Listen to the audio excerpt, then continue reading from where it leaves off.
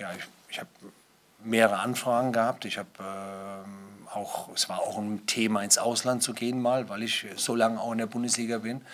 Ähm, aber ich kann sagen, ähm, dass Hertha schon auch eine oder mein Wunschverein schon auch äh, im Sommer war. Äh, und jetzt auch, weil ich einfach ähm, bei der Mannschaft ein Potenzial sehe. Äh, in dem Verein natürlich auch und ähm, vielleicht da noch eins. Mir haben aber auch die Gespräche unheimlich gefallen. Also es ist nicht nur das Sportliche, sondern für mich ist in, in, der, in der Situation, in der ich mich befinde, ist es mir auch sehr, sehr wichtig, mit welchen Menschen ich zusammenarbeite, wie ticken die und sind wir auf einer Wellenlänge. Äh, weil ich auch nicht mehr alles machen muss. Und äh, da habe ich ein sehr, sehr gutes Gefühl gehabt. Und das ist eigentlich auch, auch mit Grund, ja, mit Michael die Gespräche, mit meinem Gegenbauer die Gespräche, die mir sehr, sehr gut gefallen haben. Und auch gestern mit den Leuten, mit denen ich zusammengekommen bin, hat mir schon richtig gut gefallen, muss ich sagen. Also das ist, ist ein guter äh, Grundstein oder Grundstock dafür, um, um darauf aufzubauen. Aber ganz klar, jetzt ist die Mannschaft, jetzt sind wir zusammengefragt und mit der Mannschaft und da werden wir in den nächsten Tagen, Wochen äh, alles tun. Mir geht es einfach so und das will ich übertragen. Für mich ist es einfach ein geiles Spiel. Ich habe einfach Bock auf Fußball und, und das will, will ich, dass wir das auch leben. Ja, das ein, dass wir hier sitzen können, ist privilegiert äh, und, und deswegen möchte ich auch diese Freude, äh, das hatte ich Michael irgendwann mal gesagt, Michael, egal was ist, aber ich möchte diese Freude lasse ich mir nicht mehr nehmen. Ne? Ich sage auch ganz offen, es gab Situationen in meinem Leben, auch im Fußball, wo ich mir, also gerade als Trainer, wo, wo, ich, da, wo ich gemerkt habe, ich, ich äh, habe zu wenig Freude. Ja? Äh, aber ganz, das fängt bei mir an. Also bei mir fängt es als erstes an und deswegen gehe ich jeden Tag da rein und sage, ich will es leben. Das heißt nicht, dass ich jeden Tag hier mit einem riesen Lächeln rumlaufe, weil es wird auch Momente geben, wo, wo ich einen Hals habe oder wo Dinge nicht funktionieren, äh, wo meine Niederlage vielleicht da sein wird. Aber trotzdem möchte ich mir das nicht nehmen lassen. Das liegt also an mir und das möchte ich der Mannschaft auch so ein Stück vermitteln, dass es an, an uns selber liegt, was wir daraus machen und, und ich finde es klasse, dass wir das machen können. Wir dürfen nicht den Fehler machen, nur an die neue Saison zu denken. Das ist ein Teil, deswegen sind wir jetzt eingestiegen, weil genau die Situation, die du eben sagtest, wir werden, äh, äh, wenn wir Pech haben, halt keine Vorbereitung haben. Also es wird was ganz anderes sein.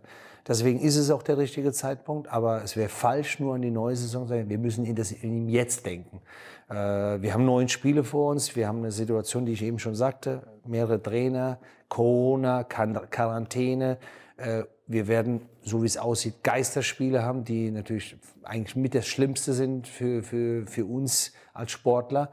Äh, also das sind alles Dinge, die, die eine große Rolle und wir stecken im Abstiegskampf noch. Also deswegen müssen wir den Fokus, und der beginnt heute. Also es wird auch nicht funktionieren, wenn wir in zwei, drei Wochen meinen, äh, wir können jetzt mal ein bisschen hochfahren. Also wir müssen jetzt schon auf Knopfdruck versuchen, hochzufahren. Dazu müssen wir die Mannschaft äh, auch ein Stück hinbringen, äh, vorbereiten, antreiben, motivieren und, und ja, ihnen einen klaren Plan mitgeben. Ich möchte eins nicht unerwähnt lassen. Wir haben ähm, oder wir sprechen täglich in dieser Zeit von den Auswirkungen ähm, der Corona-Krise und das war natürlich auch Gegenstand ähm, unserer Gespräche. Es ist ein unüblicher Zeitpunkt, ähm, logischerweise, weil es auch keine Blaupause dafür gibt.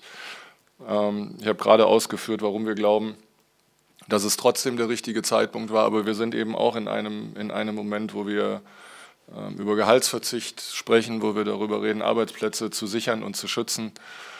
Und deswegen möchte ich das ausdrücklich auch an dieser Stelle erwähnen, weil es keine Selbstverständlichkeit ist, weil Bruno mir in den Gesprächen gleich signalisiert hat, das ist auch ein Aspekt, über den wir nachdenken müssen. Und, äh, und äh, er hat Hertha BSC angeboten, bis zu dem Zeitpunkt, zu dem wir dann wieder anfangen, regulär Fußball zu spielen, ähm, eben auch auf wirklich weite Teile seines Gehalts zu verzichten. Und äh, das finde ich eine tolle und eine bemerkenswerte ähm, Geste ähm, und möchte mich da auch gleich zu Beginn schon mal für bedanken, weil es einfach auch zeigt, ähm, dass er sehr reflektiert eben auch in dieser Situation ähm, auf ja, die Gesamtumstände, die wir in unserem Land haben und dann natürlich auch im Fußball haben, ähm, ja, abhebt und sie äh, im Blick hat. Der Fußball, den wir betreiben, ist aber eben nicht nur Spaß und Spiel, sondern es ist eben auch ein, ein, äh, ein Berufsfeld, ein Wirtschaftszweig. Wir wissen mittlerweile alle die, die großen Zahlen. Wir reden über 60.000 Arbeitsplätze, die auch an dem Fußball äh, in der Fußball-Bundesliga und in der zweiten Fußball-Bundesliga hängen. Und ich glaube, es ist äh, nur richtig und äh, angemessen, wenn wir wie alle anderen Branchen auch darüber nachdenken, und zwar sehr intensiv nachdenken, ähm, wie die Fortführung des Wettbewerbes denn dann aussehen kann. Und der Wunsch und der Optimismus, den lassen wir uns nicht nehmen, vor allen Dingen den Optimismus, dass wir diese Saison zu Ende spielen. Ähm, und der Wunsch, das ist klar ähm, formuliert, äh, ist der, dass wir bis zum 30.06. idealerweise diese Saison zu einem Abschluss bringen wollen, um auch sportliche Entscheidungen ähm, auf dem Platz herbeizuführen und äh, möglicherweise auch, wenn das nötig sein sollte, diesen Zeitpunkt vielleicht noch ein bisschen ausdehnen. Aber der klare Wunsch ist es, diese Saison zu Ende zu spielen. Und, und wir bei Hertha schließen uns diesem Wunsch an und teilen übrigens auch den Optimismus, dass uns das gelingen wird.